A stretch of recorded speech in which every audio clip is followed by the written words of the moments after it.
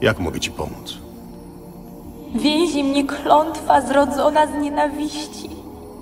Przełamać może ją tylko moc miłości, ale kto mógłby pokochać upiora? A twój ukochany, o którym mówiłaś, czy on też nie żyje? Graham? Nie, on żyje. Wiedziałabym, gdyby umarł, ale on mnie porzucił i uciekł. Zostawił mnie tu samą. Może gdybyś mu wybaczyła, klątwa straciłaby moc. Myślę, że wtedy cała wyspa zostałaby oczyszczona.